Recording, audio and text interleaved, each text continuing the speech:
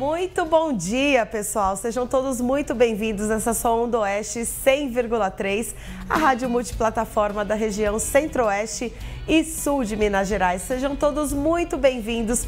Hoje é dia 3 de setembro de 2022, dia do biólogo. E hoje, você sabe, o programa Mulheres está no ar a partir de agora e a gente sempre convida uma mulher interessante, dona de si e inspiradora para outras. Hoje, a nossa convidada é Adriana Francisca da Silva. Ela é bióloga e vai falar um monte de coisas para a gente porque ela tem um currículo super extenso. Eu tenho certeza que você vai querer saber um pouquinho mais sobre a vida dela. Muito bom dia, Adriana. Muito obrigada pela sua presença. Bom dia, Marisol. Bom dia aos ouvintes. Eu gostaria de agradecer a oportunidade, né, de poder estar falando com vocês aqui um pouco sobre a profissão do biólogo, que hoje é o nosso dia, né? Isso, inclusive parabéns pelo dia de vocês. E hoje a gente vai falar um monte de coisa sobre essa profissão maravilhosa que é, bio, que é ser bióloga, né? E estudar biologia, coisas que muita gente não sabe, o leque de opções que traz uma faculdade dessa, um curso desse. Então, Adriana, seja muito bem-vinda. Adriana, gente, ela tem a formação acadêmica em biologia e licenciatura plena. Ela é pós-graduada em manejo florestal, gestão de pessoas pela Fundação Dom Cabral, gestão ambiental pela Universidade Cândido Mendes e gestão de pessoas pela Universidade Cândido Mendes também. Adriana, me conta uma coisa para os nossos ouvintes ficarem conhecendo você um pouquinho. Onde você nasceu? Eu nasci em Belo Horizonte, eu sou natural de Belo Horizonte, mas nós mudamos para Piuí, eu ainda era criança, porque meu pai é de Piuí, né? Então parte da minha família é de Piuí. Eu sou filho do Nilzo, da locadora, ele é bastante conhecido por trabalhar no comércio, né? E permaneci em Piuí até a minha adolescência, antes de ir para a universidade. Depois da universidade, que eu, eu consegui trabalhar, começar a trabalhar, morei em várias cidades, né? Exercendo várias funções diferentes, até me estabelecer aqui em Divinópolis, que é onde eu resido atualmente. E Adriana, você é casada, você é solteira, você tem filhos. Aproveita se tiver filhos, manda um beijo. Estou casada com um agrônomo, o nome dele é Sidney, ele também é de Piuí. E tem uma filha de 9 anos chamada Ayla. Nós tivemos apenas uma filha, mas é, ela é muito amada, assim, né? Presentinho de Deus que nós recebemos aqui em casa. Que coisa boa. Adriana, me conta, o que, que você faz para relaxar nas horas vagas com esse monte de coisas que você já fez na vida e hoje em dia, com certeza, uma mulher super ocupada. A hora que você tem aqueles minutinhos, assim, o que, que você gosta de fazer? Aqui em casa nós temos muito a prática de plantio, de cuidar de horta, cuidar de planta, é uma coisa que todo mundo gosta, mas também uma casa de biólogo e agrônomo não podia ser diferente, né? E eu também gosto muito de colorir com a minha filha, a gente tem um hábito de colorir em famílias, junto as avós, as primas, as bisavós, aí todo mundo vai colorir para relaxar, porque de fato a rotina durante a semana ela é muito puxada, né? Então, você tem que ter uma válvulazinha de escape ali para poder descansar a cabeça um pouquinho também. É verdade. Adriana, é, hoje a gente vai conversar sobre várias coisas né, que você já fez durante a vida, muitos trabalhos importantes, até aqui na região nossa e fora também. E para começar, vamos assim, lá do comecinho. O que é uma bióloga? O que é a biologia? E o que uma bióloga faz? Bom, a biologia é um, é um um campo vasto, né? Porque ela estuda organismos vivos, as suas estruturas, crescimento, funcionamento, reprodução, evolução, distribuição e a relação desses seres vivos com o meio ambiente. Exatamente nessa data de 3 de setembro, foi reconhecida 40 anos atrás, em 1970, através de regulamentação, a profissão do biólogo, porque se notou que era importante né, você ter uma área específica de estudo para essa relação de seres vivos com o meio, né, essa interrelação das várias espécies.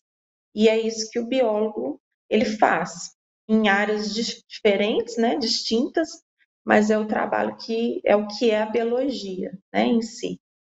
A atuação do biólogo, ele, ela pode ter várias frentes, né? Você pode trabalhar com meio ambiente diversidade, que é o que eu faço hoje.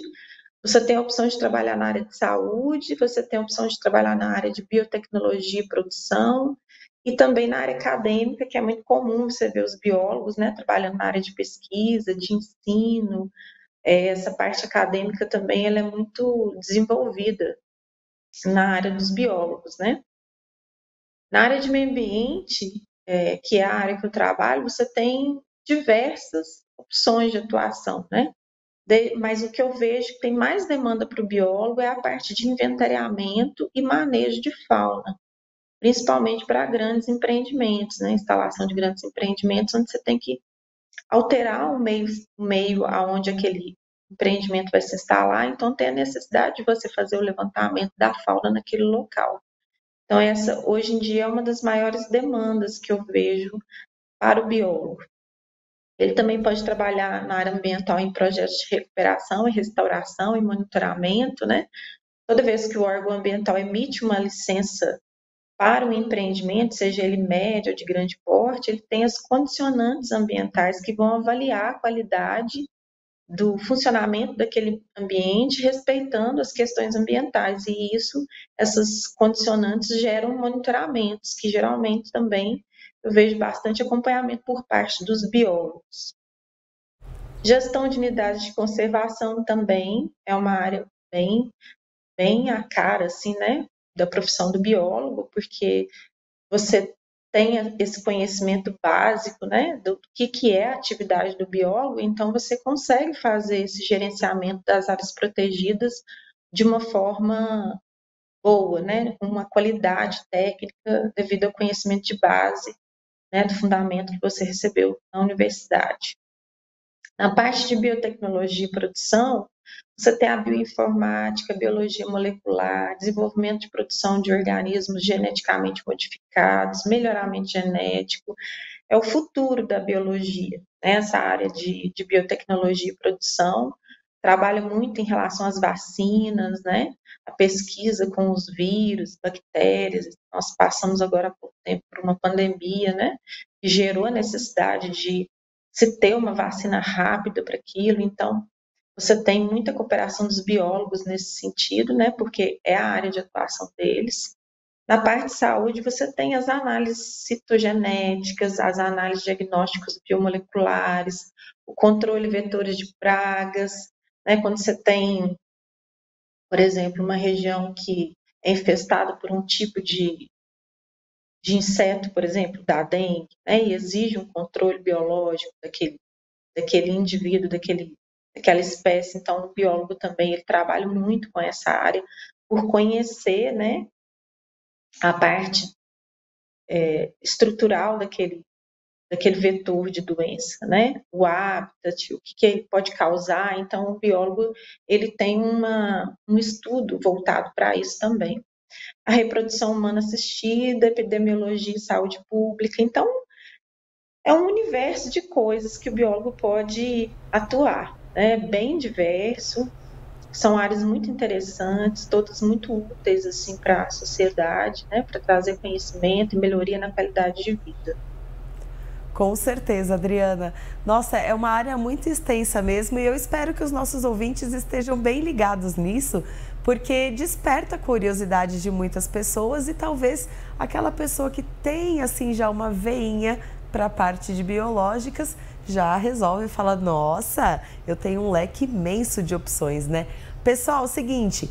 Mulher está rolando por aqui até 9 horas da manhã e agora tá na hora da gente curtir aquele sonzinho, a primeira música do dia. Então, solta o som, daqui a pouquinho a gente vai conversar mais com a Adriana. De volta com o nosso programa Mulheres desse sábado, dia 3 de setembro. Hoje é dia do biólogo e nós estamos, obviamente, conversando com uma bióloga, mas não é qualquer bióloga, é uma maravilhosa. E ela está trazendo um monte de informações para a gente. Nós já falamos o que é biologia e qual é o leque de opções que essa formação te dá, né? E agora eu quero falar sobre uma ONG que ela foi, que ela é, ajudou aqui a fundar em Piuí, né, Adriana? A gente sabe que você atuou em muitos projetos e eu gostaria de falar um pouquinho sobre a ONG Eco Piuí, que você atuou de 2003 a 2009. Né? Eu queria saber assim, qual é a importância das atividades educacionais que essa ONG é, é, realizou, né? E também qual era o foco dessa ONG a princípio? Bom, a região de Piuí muitas pessoas não não conhecem, né? Mas ela está inserida numa região de extrema importância para a parte de geologia né, dos solos. A gente tem a região de Doresópolis, Arcos, Pains, que tem as cavidades, né? E você tem aqui na região de Piuí um solo muito específico de milhões de anos atrás que está exposto e que geralmente é muito estudado pelas universidades do estado de São Paulo, do Rio, de Minas Gerais, que vêm estudar essas rochas que ficam principalmente na região do Araras. Além dessa questão geológica, né, dessa especificidade que a nossa região tem, que poucas pessoas sabem da importância para a questão científica, nós temos o Ribeirão Araras, que é uma particularidade do município de Piuí, né, é, onde vem a água por gravidade, ela nasce na serra e ela desce de forma limpa para fornecer água para né, as pessoas de Piuí. Então, ela tem uma, uma característica que você já vem uma área protegida, né? Já, tem, já, já nasce numa região de serra, com várias nascentes que já teriam é, uma qualidade, a princípio, boa para fornecimento de água. Mas como a gente tem a alteração né, do ambiente, isso é normal, porque o homem tem a tendência a ocupar os ambientes, modificar os ambientes, era muito importante que se preservasse essas áreas de manancial, de forma que ela mantivesse essa qualidade para o abastecimento da cidade.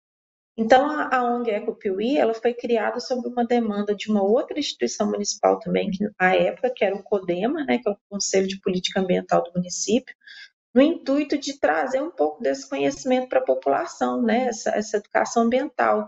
Por que de preservar o Ribeirão Araras? Qual era a importância desse ribeirão? E é né, importante para o abastecimento público. E também sobre outras questões relevantes ambientais do município, porque existia uma carência né, em relação a falar sobre questões ambientais, desde proteção de mananciais, a questão de, de reciclagem, a questão da própria limpeza né, do, do, município e da preservação. Então, a ONG ela teve um objetivo, ela nasceu com o objetivo de falar sobre a importância do Ribeirão Araras, da sua recuperação, né, recuperar as áreas degradadas que estavam lá para preservar aquele manancial para um uso futuro né, das, das, da população futura de Piuí, também para a preservação da parte geológica, que ela é muito importante, né, a parte científica, e trazer educação ambiental para o município, que a gente achava que era importante ter essa suplementação além da educação ambiental que já vinha sido dada na parte curricular das escolas. Né? Então, o foco, em, em princípio, foi esse. Adriana, e aí isso me faz fazer um link com uma coisa que você falou um pouquinho mais cedo, que é, ah, eu gosto de, no, nos meus momentos de hobby, que eu tenho um momento assim com a família, eu gosto de, de plantar alguma coisa com a minha filha e tal. E essa parte da, da educação né, que vocês colocaram nesse projeto, eu gostaria de saber, sabe aquela história de você plantar um feijãozinho na escola quando a gente é criança? Isso eu acho que nunca foi em vão, né?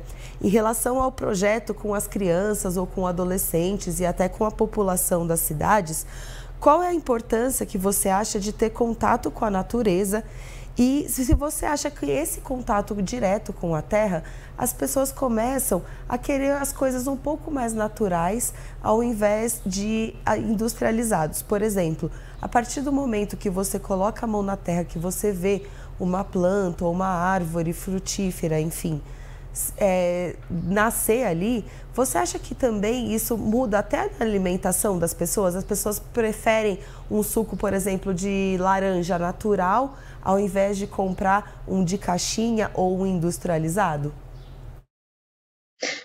A educação ambiental para a vida das pessoas, ela é fundamental. Eu vou dar um exemplo da minha vida pessoal, né? Eu estudei num grupo escolar em Piuí, municipal, que era o Josinal Alvim, e lá nós tínhamos uma horta que era é, cuidada pelas crianças. A gente tinha um horário dos intervalos em que a gente aguava, a gente plantava, colhia. Isso foi uma coisa que me marcou, porque mesmo depois de 40 anos ainda tenho a lembrança clara disso, né? Do gosto de um alimento fresco, de você ajudar a cultivar e, e, né, e depois colher e aquilo ser usado para sua alimentação. Então, são projetos que às vezes a gente pensa que, é um, que não tem um, um, um, impacto, mas ele tem na mudança da, da, vida da pessoa, né? Tanto que na nossa casa a gente tem uma, uma vida mais voltada para alimentos mais naturais, né? coisas mais frescas. Então, isso, isso fica na memória e modifica o seu, o seu curso de vida, né? Eu não sei se hoje a Prefeitura de Piuí ainda faz esses trabalhos nas escolas municipais, né, nos grupos, mas eu sei que é uma coisa que marcou bastante assim a minha infância e que eu achava maravilhoso, né? Ah, vou cuidar da horta, porque depois vai ter uma cenourinha ali para a gente comer. E eu tenho certeza que outros colegas que estudaram comigo nessa época devem ter a mesma sensação, né, de lembrança. Então, quando o município ele desenvolve um trabalho educacional desde o começo, quando, né, nos primeiros anos de vida da criança, e, e, ele cresce com aquela, aquele entendimento do que é importante, né, da relevância de você preservar o ambiente onde você vive, de ma manter né, a qualidade ambiental, desde pequenas coisas, desde não jogar um lixo no lugar incorreto, não descartar material que pode ser reciclado, até plantar uma árvore, participar de, de projetos, tudo é importante. Todas as, as iniciativas, elas são bem-vindas em relação à questão ambiental, porque isso reflete na vida do adulto. Né? Você vai ter uma qualidade de vida melhor se você tem uma cidade que é mais limpa, mais arborizada, se você tem uma alimentação mais natural, que você tenha a oportunidade de cultivar alguma coisa, né? Que seja uma horta, ou que seja um jardim, mas que você não perca esse contato com a natureza, né? Porque ela é que ajuda a manter o nosso equilíbrio também, né?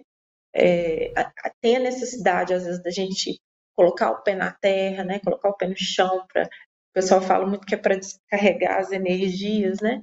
E de fato, o ser humano ele tem uma ligação muito forte com o ambiente onde ele vive. Nós dependemos desse ambiente equilibrado, né? Para ter uma qualidade de vida boa. Adriana, e é, é, o seguinte, você também no começo da, da nossa entrevista, você citou que o ser humano ele tem, ele começa modificar algumas coisas ao, em, ao, no ambiente onde ele está vivendo, né? Onde ele se adapta, onde ele começa a querer viver as coisas. E eu queria saber para você, é, na conclusão do seu material que você mandou para gente, eu, me chamou a atenção uma frase que você escreveu assim: o ideal é saber conciliar a preservação com o desenvolvimento econômico sempre. E eu queria saber de você qual é a importância da preservação ambiental para o desenvolvimento econômico, porque muita gente acha que ou você se desenvolve economicamente ou você preserva a natureza. E eu acho que a gente tem o papel aqui hoje de falar que não, as duas coisas têm que andar juntas. Então, por favor, é, qual é a importância da preservação ambiental no desenvolvimento econômico? Bom, eu vou te falar como na minha experiência, né, como gestora ambiental, a minha formação principal é a biologia, né, e a biologia ela é muito voltada para a conservação das espécies. Né? A princípio, você sai da universidade imaginando o seguinte: olha, tudo tem que ser preservado, tudo tem que ser intocável, a gente não pode fazer alteração no ambiente, porque é muito importante manter esse ambiente preservado. Só que na prática, depois, quando você vai trabalhar de fato, né? Você vê que é importante a alteração do meio também, porque se você vive nos grandes centros, você vai no supermercado comprar um alface, comprar o seu arroz, o seu feijão, ou comprar o seu vestuário, você tem que entender de onde é a origem daquilo, né? Daquilo que traz a, a, o nosso, a nossa base da economia, do que a gente consome. Então, nós não podemos também fechar os olhos e falar assim, não, eu quero consumir tudo, mas eu não quero que o ambiente seja alterado. Isso não vai existir, né? Então, o que eu vejo é um esforço muito grande quando você tem instituições do, do Estado, né, igual eu trabalho no Instituto Estadual de Florestas, mas você tem o Instituto de Gestão das Águas, que é o IGAM, a SEMAD, né, que é a Secretaria Estadual de Meio Ambiente, e os órgãos estaduais, municipais, federais, todos voltados para essa preocupação, né, de como você pode ter um desenvolvimento econômico mas de forma a preservar também os recursos naturais. Porque se você tem uma fazenda, por exemplo, eu dou o exemplo da região de Piuí, que hoje, graças a Deus, tem um desenvolvimento econômico bastante variado, né, em relação a ter vários tipos de culturas, planta milho, planta soja, planta café, mas também tem a parte de é, agora produção de laticínios, né, que desenvolveu bastante economicamente o município, isso é muito importante, porque gera renda, gera economia, né, gera emprego, mas o fato do, do laticínio estar lá na área, do, na área rural, vamos fazer isso, trabalhando, ele precisa de um recurso natural, é, é, que é a água, por exemplo. Né? Ele não consegue fazer a produção do laticínio dele operar sem um recurso hídrico. E se você tem um, um, ambiente muito alterado, né, se você não tem as nascentes preservadas, se você não tem os cursos d'água, os cursos d'água estão todos assoreados, você vai ter uma mudança hídrica naquela região, isso vai ser causado. E aí você tem uma redução da disponibilidade. Então, às vezes, você vai ter uma fábrica de laticínio que precisa de uma água para usar, mas não tem aquela água. Então, aquele empreendimento começa a ficar insustentável, porque ele não consegue operar porque falta o recurso hídrico. Então, a gente tem que entender que a gente pode, deve desenvolver o ambiente onde nós estamos, mas nós precisamos ter um olhar cuidadoso também para a preservação daqueles recursos que nós utilizamos para a produção. Né? Uma preocupação que nós temos hoje no órgão ambiental, e a gente vê isso claramente, é quando se pede uma outorga por exemplo, para irrigação, né? E, e a gente não consegue autorizar porque está tendo indisponibilidade hídrica naquela bacia, ou seja, não tem água suficiente para a demanda que existe naquela região. E isso tem acontecido com frequência, porque são muitas pessoas utilizando do mesmo recurso hídrico e às vezes usando de forma é, não tão adequada, né, com desperdício. Então, isso é uma coisa que a gente também tem que reavaliar. O uso do recurso é importante, o desenvolvimento econômico é importante, mas nós temos que aprender a conciliar esse desenvolvimento com a preservação desse recurso. Então, se você tem um município que está sendo desenvolvido e a base desse, desse, desse desenvolvimento requer um recurso hídrico constante, como água, por exemplo, você tem que preservar as áreas aonde são onde de onde vem aquela água, porque senão automaticamente o seu empreendimento também ele, ele vai ser frutífero. Em algum momento ele não, ele não vai mais funcionar, porque vai faltar um recurso básico curso que a gente não tem como fabricar, né? Gente, é o seguinte, essa conversa tá maravilhosa. Eu adoro falar sobre meio ambiente, sobre preservação ambiental, porque a gente descobre um monte de coisas que talvez a gente pense assim, nossa, eu podia saber disso antes. Mas a gente está descobrindo isso hoje juntos. Vamos para mais um bloco musical e a gente volta já com a Adriana. De volta com o nosso programa Mulheres. Ele passa tão rápido, né? Nós já estamos no último bloco. Mas hoje a minha convidada é a Adriana Francisca da Silva. Ela é bióloga, hoje é o dia do biólogo. Então a gente está conversando sobre um monte de coisa. Ela já fez várias coisas na vida, já passou por vários cargos, conhece tudo e mais um pouco. Adriana, já que a gente está com o tempo bem apertado, bem corrido, eu queria falar com você um pouquinho sobre sustentabilidade. Hoje, muito se fala essa palavra, poucos sabem o que ela significa. E eu gostaria de te fazer uma pergunta, tipo assim, é, a sustentabilidade hoje em dia, ele é um jeito antigo de viver com instrumentos modernos? Bom, a sustentabilidade é uma palavra que está muito na moda, né? Mas pouco praticada, eu acho, no dia a dia das pessoas, porque a sustentabilidade é quando você adquire, por exemplo, eu estou comprando alguma coisa para minha casa, eu quero saber se aquela coisa produzida, né, se aquilo que eu estou consumindo foi feito diante de uma é, com uma preocupação, um olhar de sustentabilidade, né? Isso vem crescendo de forma global essa consciência das pessoas em relação ao que consome, né? E se aquilo vem de um, uma produção sustentável. Mas a, gente tem que praticar a sustentabilidade nas pequenas coisas, né? Você vai comprar aquilo que você realmente utiliza, que você realmente precisa, buscar ter uma base de sustentabilidade, não só no seu consumo, mas também nas suas ações, né? Desde gastar menos água, gastar menos energia necessário, ter, ter uma vida sustentável, ter uma vida equilibrada, né? Não só em relação à economia que você gera dos recursos naturais, mas também da sua qualidade de vida, né? Buscar uma qualidade de vida mais equilibrada, não ter tantas coisas é, que não sejam necessárias, né? Porque aquilo que não é necessário é descartado e o que é descartado nem sempre tem a destinação correta, né? E a gente começa a criar um ciclo de consumo que muitas vezes não se torna sustentável nem mesmo para o planeta Terra, né? A gente vê muito essa questão das mudanças climáticas, é, as queimadas na Califórnia, as secas enormes em países que historicamente nunca tiveram temperaturas ou secas extremas, chuvas, mansões muito grandes, causando impactos enormes é, que antes não eram vistas, né? Então, tudo isso está é, tá relacionado ao nosso estilo de vida, né? Tem, tem, um preço que a gente paga quando a gente não tem uma vida sustentável, quando a gente não olha, não tem esse olhar de sustentabilidade, né?